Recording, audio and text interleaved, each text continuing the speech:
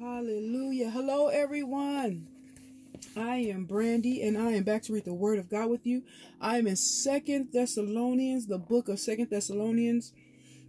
I'm going to read chapter two today, and I did. I have not, like I said, I have not read through this before I, I, I read it with you guys today. So we're going to be reading it again together and seeing what the Lord has to say about this thing. I thank God for you guys. I thank God that He allows me to, and well, it graces me, I guess, to do this thing, to get on here and read the Word. And I know there's not many people listening right now, but maybe down the line, God has started opening this this up.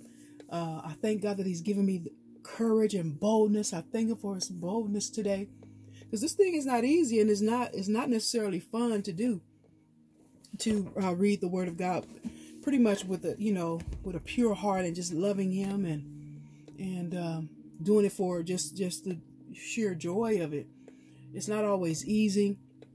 I'm gonna be honest with you. I, I, I don't I don't like reading it on this type of uh, format, but God has me doing it, so I just be obedient and keep on rolling. But most of the time, I don't even. I'm gonna be honest. With you, I don't even want to do it like this. I love reading the Word, but I don't want to read it uh, with you all, uh, but not like that, not like in a negative way, but it's just some things that come with it is not, uh, it's not fun sometimes. So, so, but anyway, but I just do it and, and keep on moving. So we have first, uh, second Thessalonians chapter two. We're going to read the whole chapter. And here it is, verse one. Now, brethren, concerning the coming of our Lord Jesus Christ and our gathering together to him. We ask you not to be shaken in mind or troubled, either by spirit or by word or by letter, as if from us, as though the day of Christ had come. Meaning, don't be deceived. Don't don't the day of Christ has not come yet. He said, Don't let nobody deceive you in your spirit. Don't let nobody trouble you in your mind, or be shaken in your mind, or be troubled in your mind. Don't let your spirit be uh, uh, shaken or, or deceived by a word or by a letter. Verse 3 it says, Let no one deceive you by any means, for that the for that day will not come unless there's stipulations here. Unless the falling away comes first. Second, the man of sin is revealed, the lawless one is revealed, right? The son of perdition. That's who he is. The, the man of sin is revealed. He's the son of perdition who opposes and exalts himself above all that is called God or that is worshiped, so that he sits as God Uh-oh. in the temple of God, showing himself that he is God. Verse 5 Do you not remember that when I was still with you, I told you these things? 6. And now you know what is restraining. Now you know what is restraining, that he may be revealed in his own time. For the mystery of the lawlessness is already at work. Only he who now restrains, oh God, will do so until he is taken out of the way. My God. Oh God. And then the lawless one who will be revealed, whom the Lord will consume with the breath, oh my God, of his mouth and destroy with the brightness of his coming. Glory be to God. The coming of the lawless one is according to the working of Satan with all power signs and lying wonders. Hallelujah. That's another reason why you have to have the Spirit of the living God, because then you'll be able to see. You'll be able to understand that these signs that are being taken place, that these these powers that are are that are on display when this time comes, that you will know that it's false. My God. And with all unrighteous deception among those who perish. Oh God. Yeah, hallelujah. Because they did not receive the love of the truth, that they might be saved. And for this reason, God will send them strong delusion, strong lying wonder, strong lying signs, strong lying power, strong falseness from Satan, that they should believe the lie, the father of lies. Satan is the father of lies, that they all may be condemned who did not believe the truth, but had pleasure in unrighteousness. But we are bound to give thanks to God always for you, brethren, beloved by the Lord, because God, from the beginning, the very beginning, this is me adding, I'm talking now, from the very beginning, chose, hallelujah, you for salvation. Once again, God knows who is his. He know he know from the very beginning. He knows the end from the beginning. He knows who is gonna get saved. He knows who's gonna who's gonna love him, who's who's gonna enter into his kingdom. He knows all of that. He knows who's gonna live unrighteous. He knows those who's gonna live in rebellion. It says from the very beginning, he chose you for salvation through sanctification by the Spirit and belief in the truth to which he called you by our gospel for the obtaining of the glory of, of our Lord Jesus Christ. Therefore, brethren, stand fast and hold the traditions which you were taught, whether by the word or our epistle. Oh God.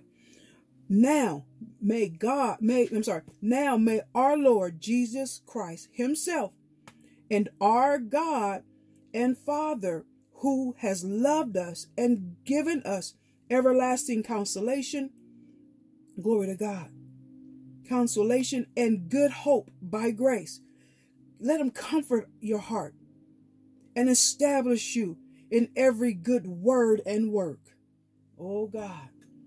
Uh, I'm going to just go ahead and keep reading uh, chapter uh, 3.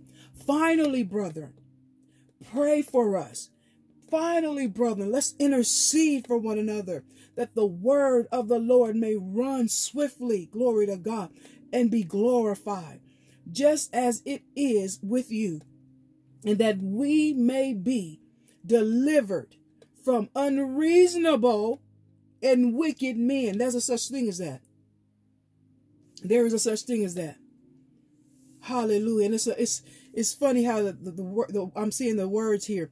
But anyway, for, for for not all have faith. Lord, let us be delivered. Hallelujah. From unreasonable and wicked men. Father God, for, hallelujah, for, for they don't have a, they don't all, all do not have faith. But the Lord is faithful, who will establish you and guard you from that from the evil one. And we have confidence in the Lord concerning you. Hallelujah. Both that you do and will do the things we command. Glory be to God. Let us do the things that your word command, oh God. Let us do the things that your spirit command. But we command you, brethren, in the name of our Lord Jesus Christ, that you withdraw from every brother who walks disorderly and not according to the traditions which receive which he received from us. For you yourselves know how you ought to follow us. For you for we were not disorderly among you, nor did we eat anyone's bread free of charge, but we worked with labor and toil night and day that we might not be a burden to any of you. Hallelujah. Not because we do not have authority, but be, but it to make ourselves an example. Glory be to God. An example of how you should follow, how you should follow us. For even when we were with you, we commanded you this if anyone will not work, neither shall he eat. For we hear that there are some who walk among you, hallelujah, in a disorderly manner. Glory to God. Turn this page here. In a disorderly manner, not working at all, but are busybodies. Glory to God. Hallelujah. They, they nosy in other people's biz, business. Glory to God. Now, those who are such, we command and exhort through our Lord Jesus Christ that they work in quietness and eat their own bread.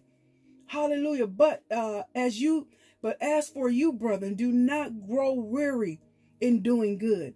And if you, if anyone does not obey our word in this epistle, note that person and do not keep company with him, that he may be ashamed.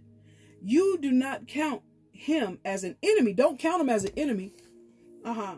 But admonish admonish him as a brother.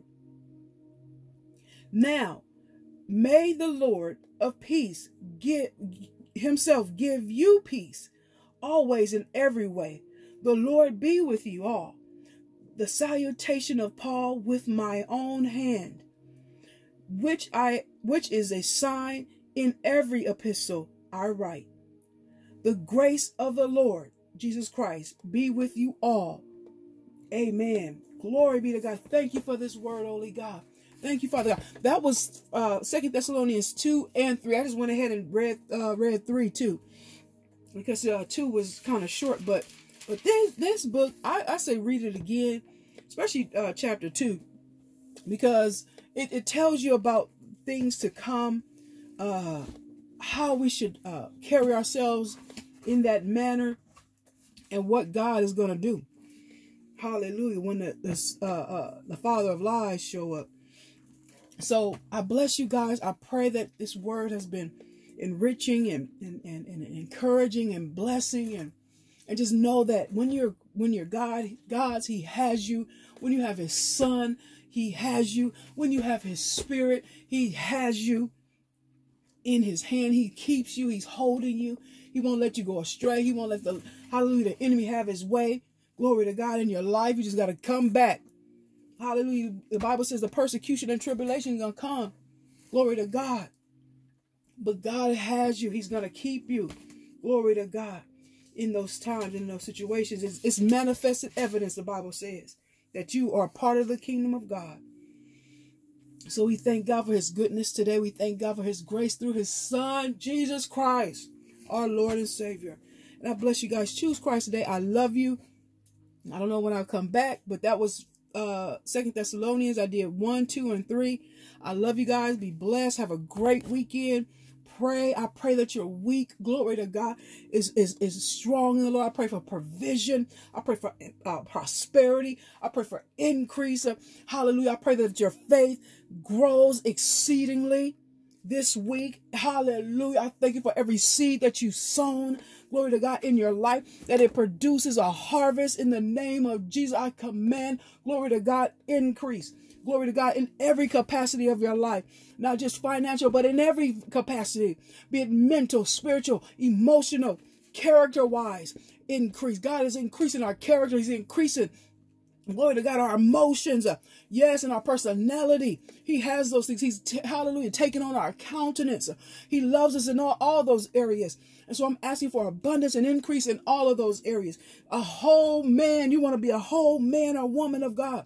You don't want to be whole over here and incomplete over there. You want every aspect, every capacity that you walk in to be whole in Christ.